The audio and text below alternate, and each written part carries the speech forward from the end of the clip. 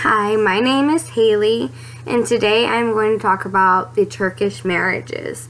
Marriages in the road to being married in Turkey compared to in the United States is totally different than we would even expect. According to TurkishCulture.org, um, in the past, marriage among relatives, especially cousins, was totally normal.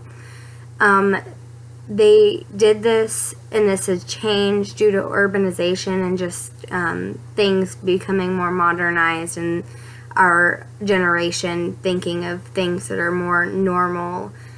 Um, and also, in the case of a brother passing, the widowed wife would marry.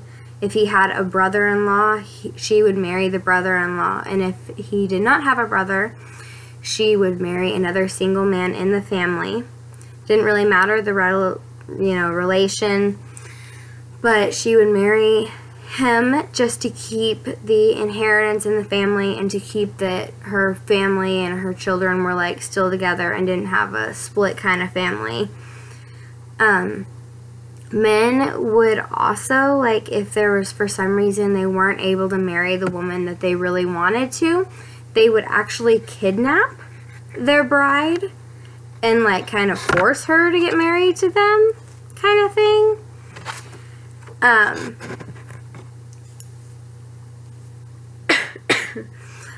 before, but however, before marriage is even an option, Turkish couples have to go through a courtship.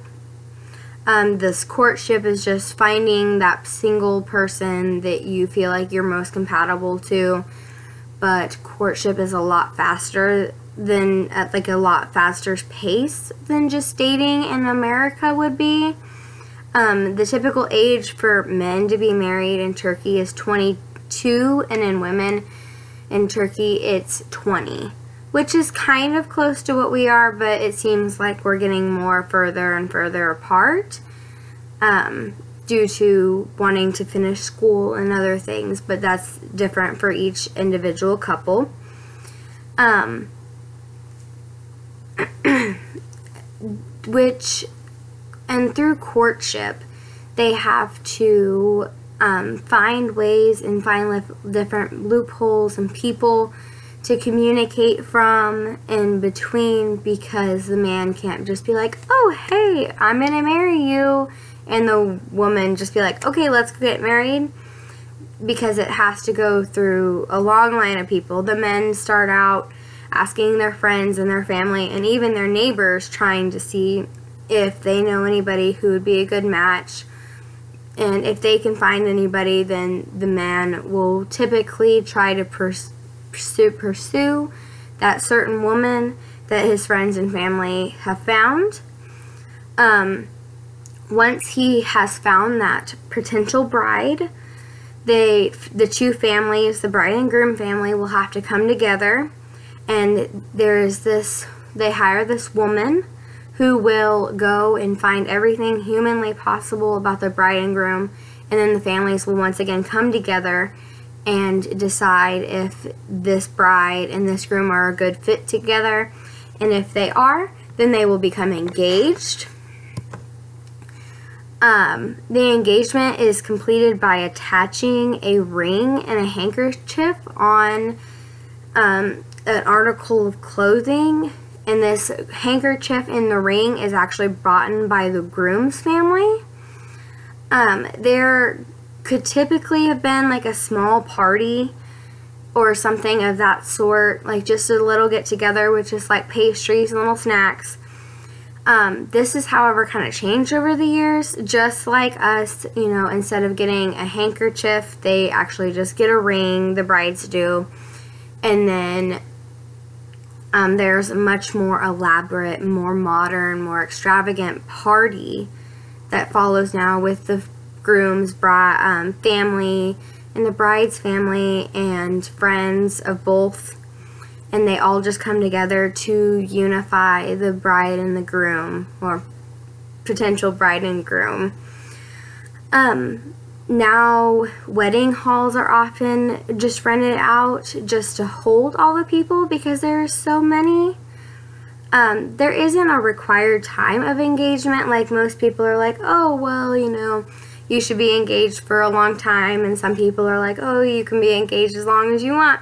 And that's kind of how um, Turkey is too. They that's there's not really a set thing.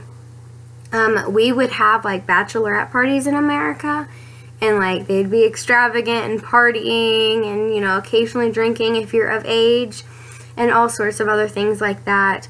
But in Turkey, um, the bride just invites all of her um, close friends and family who are women over to their parents' house, and she'll stay at her parents' house that evening. And they will do the bride's henna art, which will be on the front of her hand and all the way down, um, depending on the style of her dress. This is like totally normal and just how they um, decorate themselves for the wedding. Um, weddings in Turkey um, typically have became more in the city and they've definitely become more modernized. Um, they have a Western style theme, which when we think of Western style theme, we think, oh, you know, country, you know, cowgirl boots, you know, maybe, you know, not super formal, but Western theme in Turkey means more just flowers and more outdoorsy, but still really formal. And, you know, not like jeans and a nice button down, but like slacks and tux and things like that. Um, weddings, um, you can either pick a ceremony or a reception. You typically in Turkey do not get both, and one or the other is paid for by the groom's family, which is kind of normal to tradition here in the States.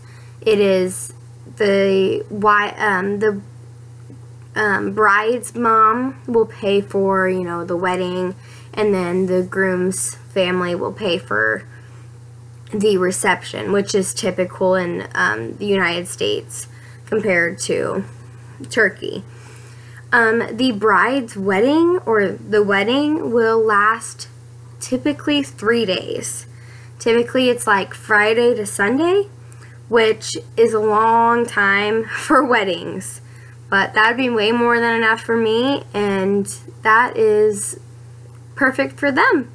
So thank you so much for watching and I hope you have a wonderful day.